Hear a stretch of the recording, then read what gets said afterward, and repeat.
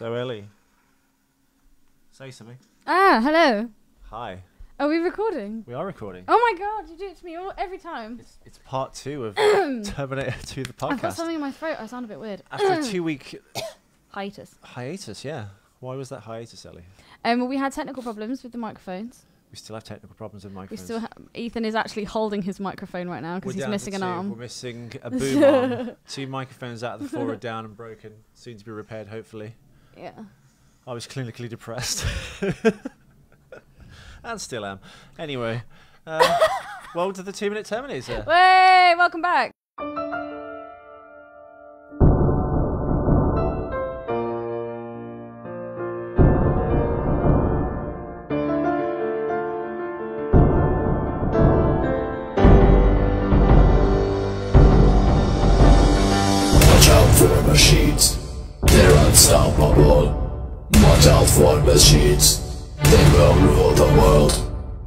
Dismantle the Terminator films two minutes at a time. I'm Yeah. Ethan McKinley. I'm Ellie Fitzgerald. No one wants to know that. and I'm not depressed. You're not depressed. I'm just trying to actually. I'll just, I'll just carry it as through. we're talking, I'm going to try and figure out a way of balancing this mic. He's gonna, he's so gonna fashion himself a, a makeshift arm. So yeah, Of we're on the next two minutes. We are on the next two minutes. and uh, it's actually quite exciting because we get introduced to uh, the future, the future soldier John, Future aka Soldier John. future soldier John. Uh, Future Soldier John actually is uh, played by Michael Edwards. Oh God, you and your facts. Yeah, see what I've done uh, for this episode. Every time when I've made notes this time, if ever like in the last uh, Terminators, we were like talking about an actor, we had to look them up in the middle of a show. I've actually put the links in all of my descriptions and like notes, uh, basically to find them. The only- However, sadly, I haven't seen any of them. I know, and the internet's not working very well today, so I've just clicked the link and it won't work. Yeah, but it's probably because you're tethering. It is. I'm 'Cause actually my internet internet's trying such to a fat dick. podcast as we speak. Can I just give a shout out, by the way, to Sky and just say how fucking shit you are? Um, don't ever get Sky. It's bad. I don't. Well, I think your package is actually bad.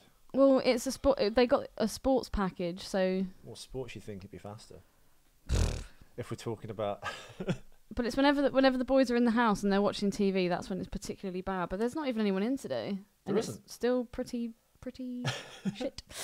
Uh, yeah. So, um, before I start on this, actually, isn't there some kind of Comic Con coming up in September in Sheffield?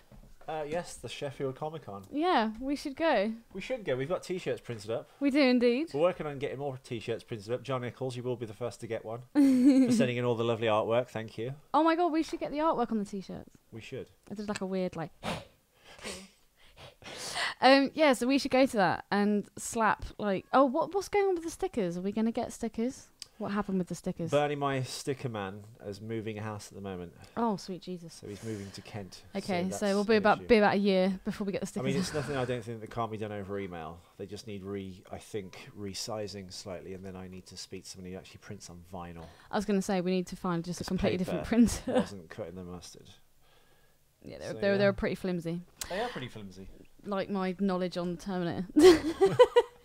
okay, so we've got the first two minutes, and like I said, we've got the uh, the old school John Connor looking very Which is Michael Edwards, of course. grim. And what else was Michael Edwards and Ethan? Well, like I said, I could tell you, but uh, your internet is down. Do you want to use mine? Uh, no. Because it'll be just my internal then internet. ultimately we'd be actually Googling Michael Edwards, which is what hamstrung the last show because. I can give a fuck, mate.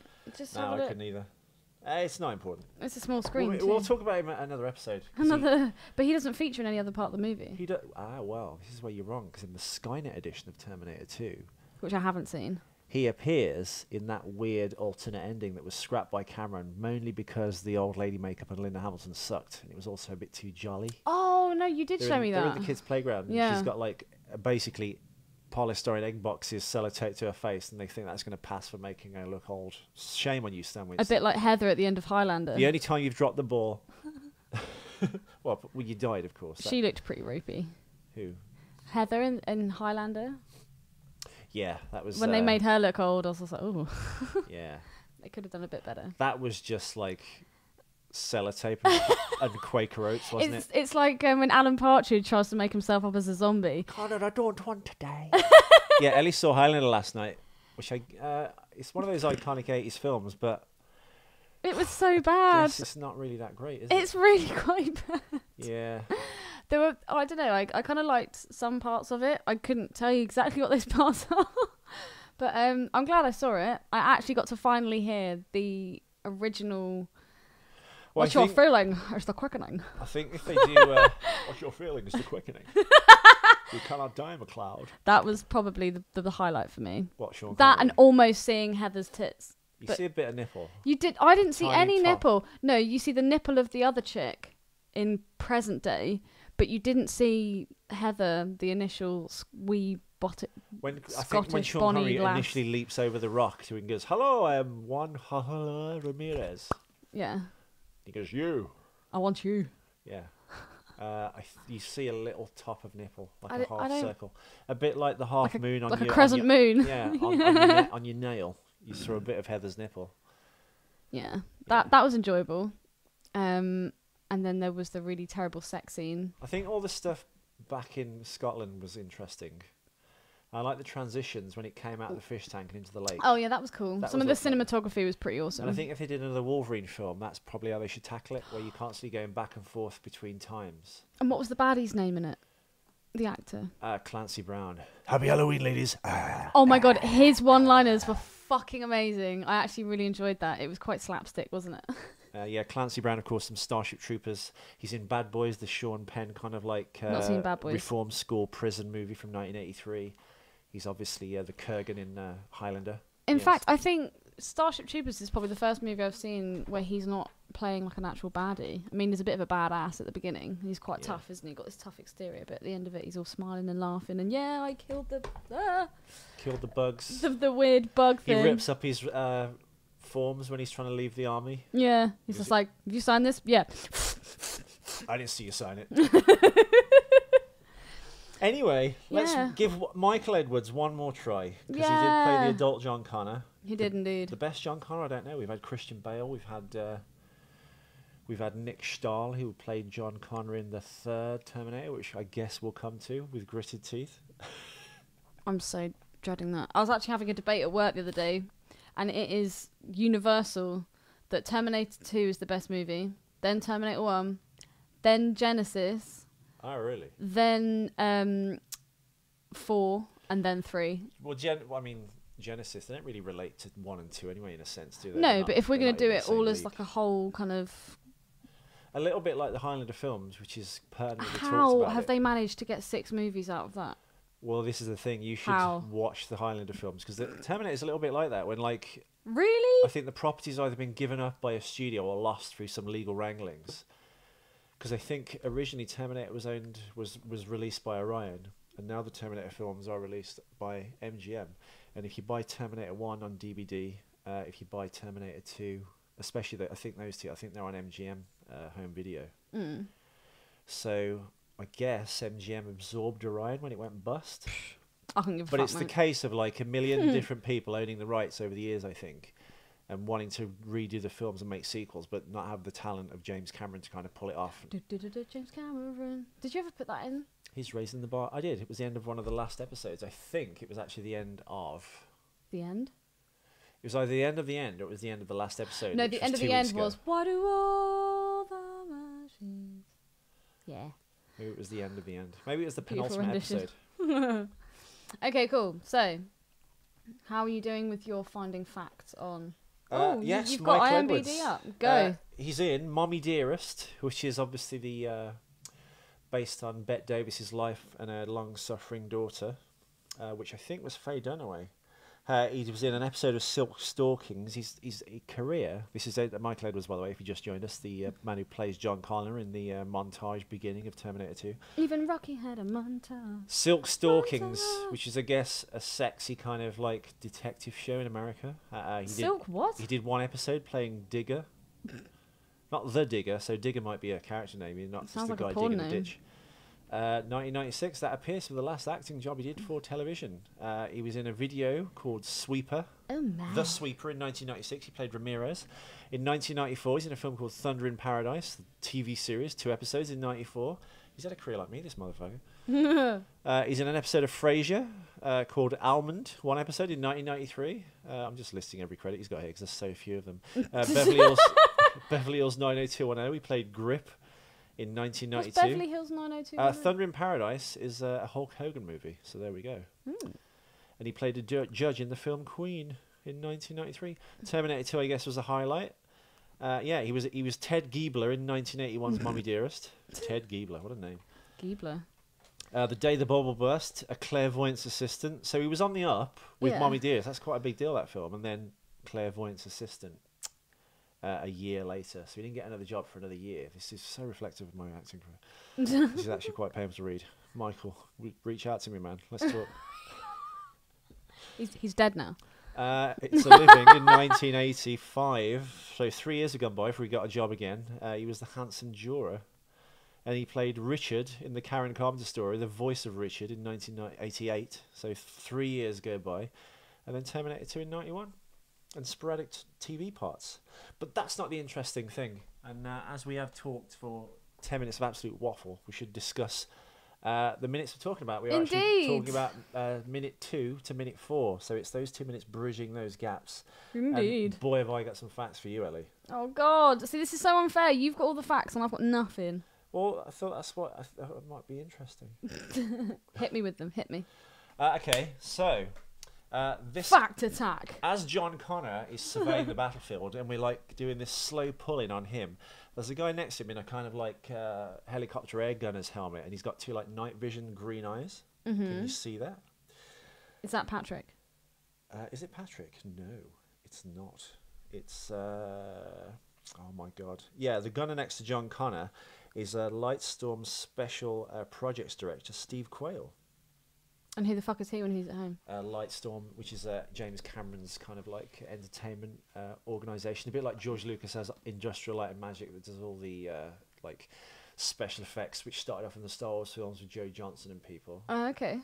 And uh, Richard Edlund who went on to do Ghostbusters special effects.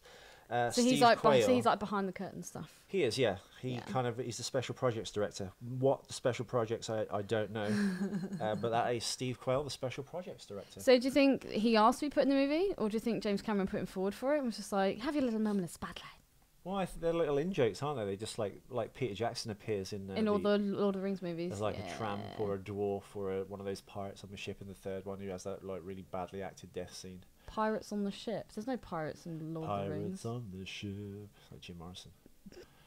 Uh, the rear projection work here is prevalent, which we saw obviously in uh, Terminator One. Please feel free to interject, 'cause I'm just like you know telling you facts here. I've, I've got absolutely, I've just got absolutely nothing. All I have are my eyes. So Uh, I'm just gonna watch Well, and this pick is up on the, the the things I want battle that we about. open with. uh, the foreground obviously is actors shooting uh, blank firing guns. They've added in the lasers afterwards. Mm. The hunter killers, like here hanging in the air, and the tanks. These are all like quarter scale miniatures. They're a miniature about three or four feet high and about five feet long, which is the tanks.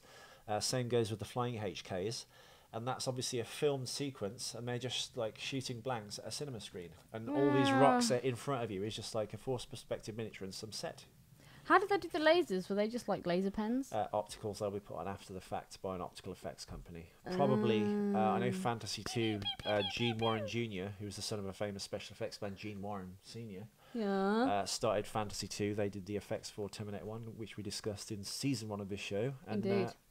here they are again, doing it again, but actually much better. I still think this holds up pretty well. I mean, Yeah, it does. It looks still looks amazing. great. It really does. Time, timeless, mate. Timeless. Timeless. And even though the, the listeners can't hear it, I think the music as well. I think because obviously we now know that this has the T1000 in it and it's the liquid metal. I think all the music kind of like reflects that really well because it's all like, I don't know. In the first movie, it was quite slow and it was like the kind of slow like T800. Not that they have a heartbeat, but it was like a lot more slow. The music, Du-du-du-du-du. or it was like, mm, that's my favorite bit. Mm. In what film? The first movie. No. The thing you're referring to is the theme of the T1000 from the second movie. Am I? Yeah. That. Uh, Oh yeah, not that. Yeah, that's the Well, T1000. I don't know. I think the music in the first one's a lot slower, whereas this one's a lot more kind of like well, not necessarily faster theme, but and it's just a bit like the Terminator heartbeat in the first one was there to Yeah. denote the Terminator. yeah. That. Whereas this one's a lot uh, more slick Yeah. because there's liquid metal in it. that like I'm trapped inside my own body because I've got MS. I'm trying to communicate. Because Uh, I've got MS. That's the Terminator T1000 theme. Isn't that something that's just special? Uh, another thing, Ellie, as uh, Moving on from special needs and MS. no, I was going to say another good thing about the rear projection, which I'm not sure if we quite see. Uh, obviously, that's rear projection. And uh, what was I going to say? There's a scene actually where you see the Terminators like walking and turning around and shooting Yeah. guns, which there's that really cool like uh, image when the Terminator is shooting guns at the camera. Oh my god, that's the same gun that's my that my toy has. Yeah, That's awesome. On the I I recently got a gift, a Terminator toy.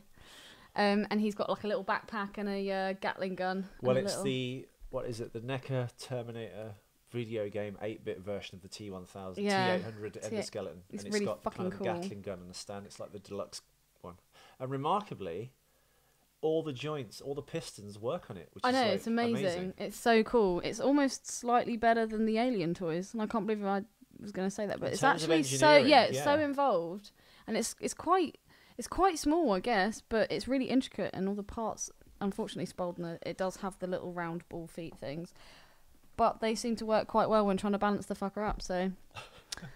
I'm uh, I'm all know- for the ball feet Do you right know now. is- you know what's happening here, Eleanor?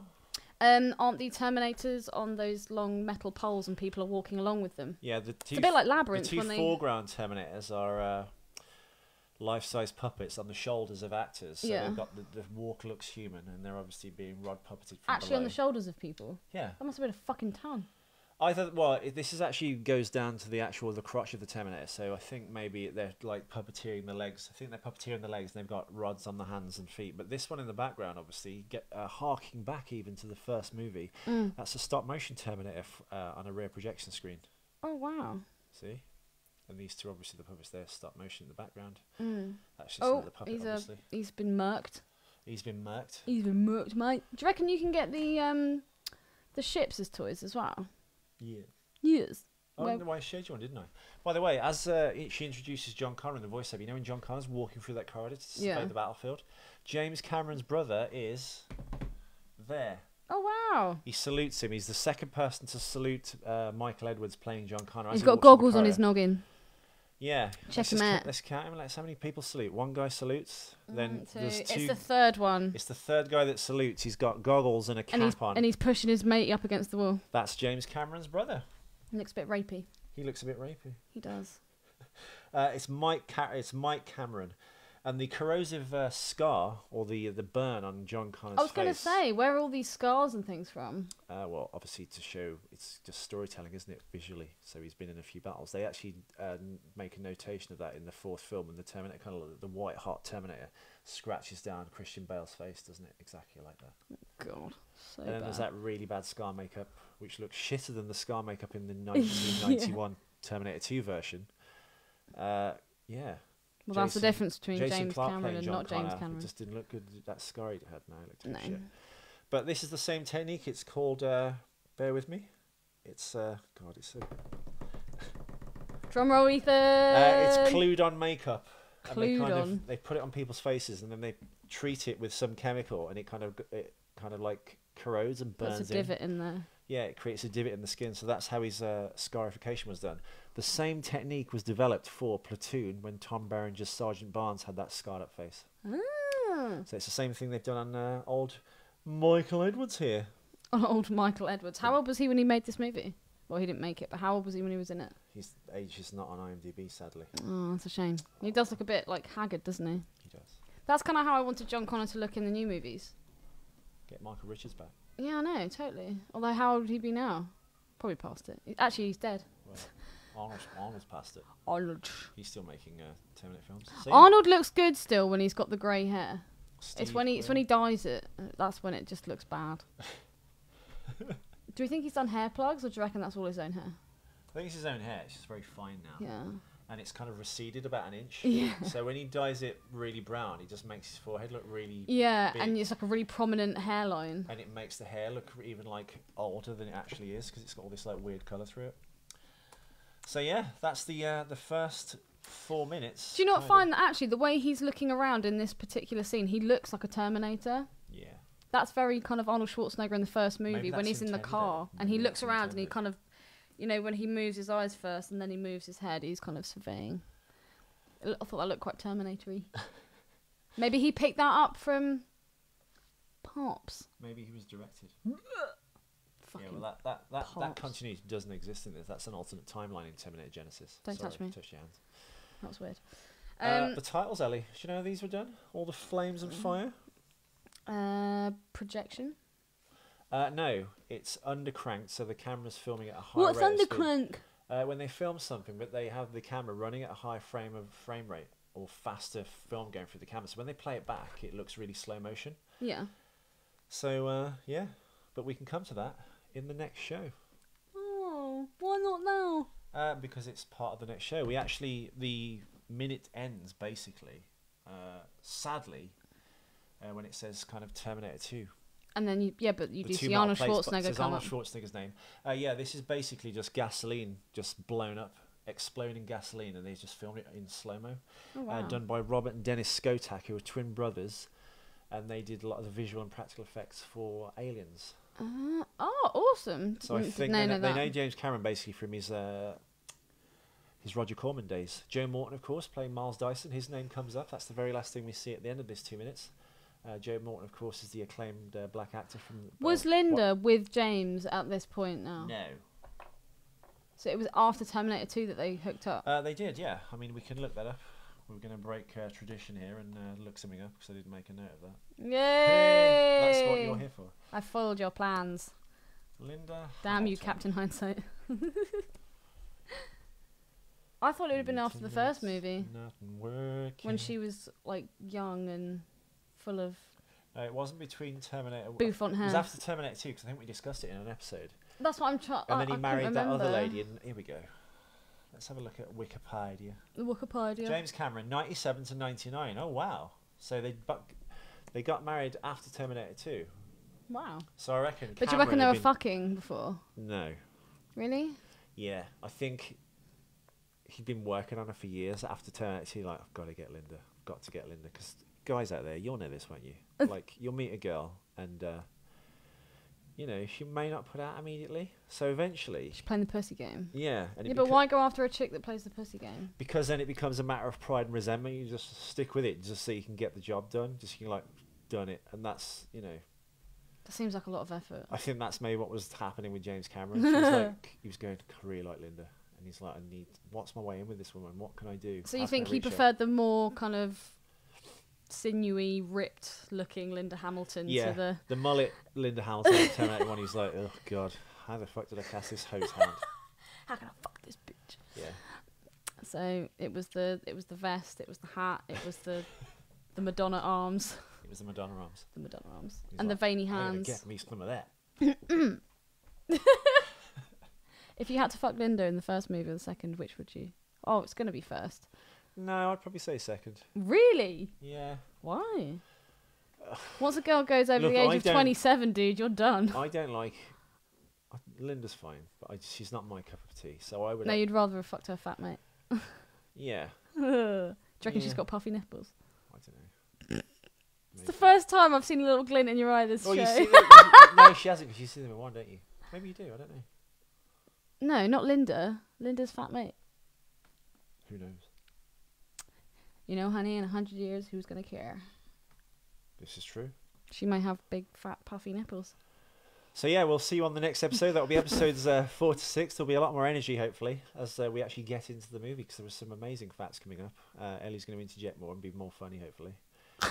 As opposed to just listening to what me telling her because that's what everyone's been complaining about. I'm learning. The facts are good. The facts are good. The facts are- facts are what actually make are the show. the show. The facts are crushing the show. And I, I am going to put them in because I sweat bullets to research this shit. Spaldner actually made a really funny comment and said, um, he was like, this Sean guy sounds like he just wants to fuck you. it's like, oh, if only you knew. You're right, Spaldner. The man, the man knows. We will be back We will be back. for episode three. Da da da da. Hasta la vista. Baby.